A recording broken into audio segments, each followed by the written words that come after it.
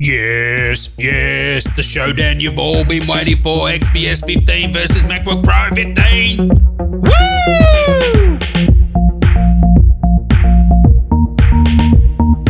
And for the guy that keeps on complaining about my intro, woo! For you, my friend. So if you want to upgrade from Windows Home to Windows Pro or just get insanely cheap Windows and Office 2016 keys, head on down to 0 and 9. Links are in the description and I even have a discount code for you and they also have cheap gaming keys too. Now the Battle of Goliaths, the XPS 15 versus the MacBook Pro 15. Both released 2018, both with the 8th generation 6 core Coffee Lake parts up to i9. I will pick which one I think's better, but that's not the point of this video. This video is just to help you make an informed decision. I already made a video like a month ago comparing the MacBook Pro at the time, which is the last generation one, versus Aero 15 versus the XPS 15. So this is just an update to that video just because the new Macs are dropped. And by the way, these are probably the last laptops with these current designs meaning I think the next XPS 15 and the next MacBook Pro will be a new design. So this should be the most refined. So since 2015, I've always been recommending the XPS 15 for the best premium 15 inch laptop. It was always a slam dunk for me, but now it's not that easy anymore. So let's crack on and compare them. So when it comes to price, so I specced up both of them with one terabyte SSD, 32 gigs RAM and an i9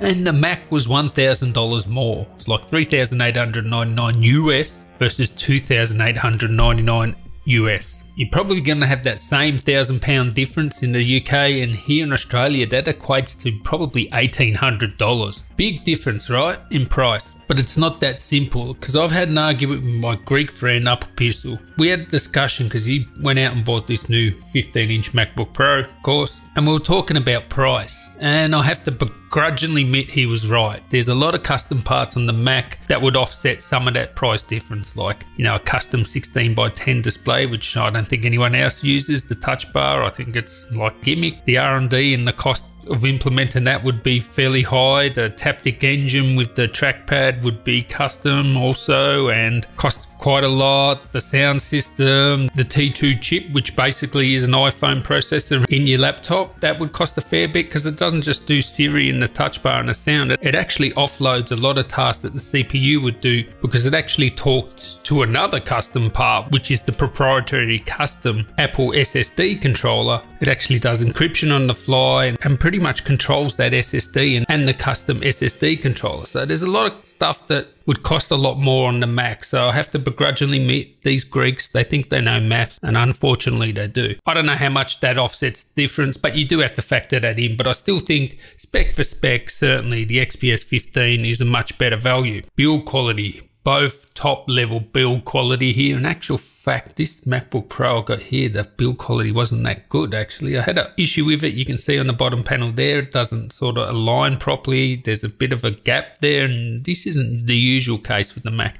can actually fit my fingernail and a piece of cardboard in there too. I'm willing to chalk that up to one off, but I have to mention it anyway. But they both have top quality, build quality. I think the Mac looks better from the outside. I like the finish, the uniform thickness, and then when you open up and you see the infinity edge of the XPS 15, the carbon fiber deck, I think it looks better when you open it up. But they're both top quality in that regard. And someone actually asked me a question. I'm a bit worried about Dell's build quality. No, I've never had a problem with a Dell, and both Apple and Dell have the best support. And as you've seen, I just had a quality issue with the Mac. So it can happen to any laptop. That's what I'm saying. But the support is fantastic with both of them. So you're covered there. Now, I didn't include the Aero 15 in this. I think the Aero 15 belongs with the Razer, Zephyrus, and GS65 MSI. I think they're more gamery sort of things. I don't think the same person that buys a MacBook Pro and what I would say the XPS 15 would be the Windows equivalent of a MacBook Pro is the same person that would buy a Razer. I just don't think they're the same people.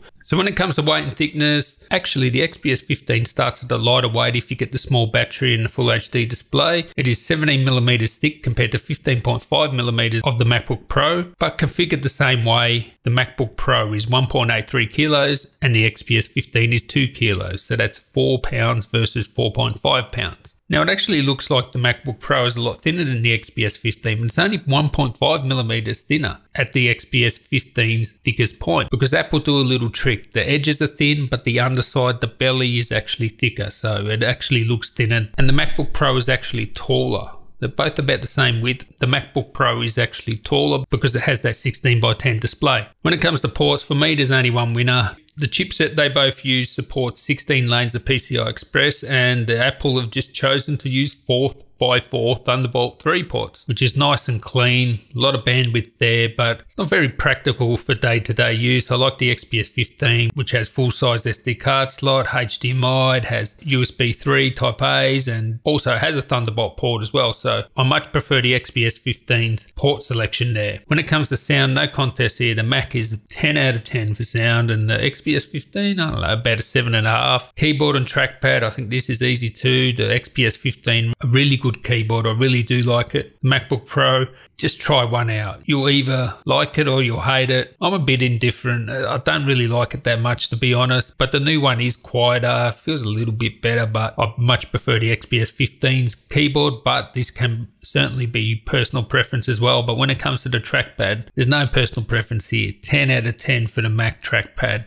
And I would say the XPS 15 is one of the better Windows ones, probably an 8 out of 10, but it's nowhere near as good as the Mac one. When it comes to displays, you can get a full HD version of the XPS 15, but if you talk about the top of the line displays, the 4K 100% Adobe RGB display that the XPS 15 has versus the 2888 by 1800 100% DCI P3 display on the Mac, which is 16 by 10. The XPS 15 is 16 by 9 they are both brilliant displays. The Max is a little bit brighter at 500 nits versus 400 nits of the XPS 15. Both color accurate both look superb. I do prefer the XPS 15 just because of the 4K. The 4K does look sharper on the XPS 15, but to counter that, the MacBook Pro has a 16 by 10 ratio, which I really do love too because you get an extra track in Premiere Pro for me. Let me know down there what would you prefer? Would you prefer 4K or a taller display? Which one would you prefer? They're both brilliant displays. you, you can't go wrong with either, to be honest. But one big bonus the XPS has it is the touch display as well well. So that's one thing to note. And you can actually use a pen. I could actually use the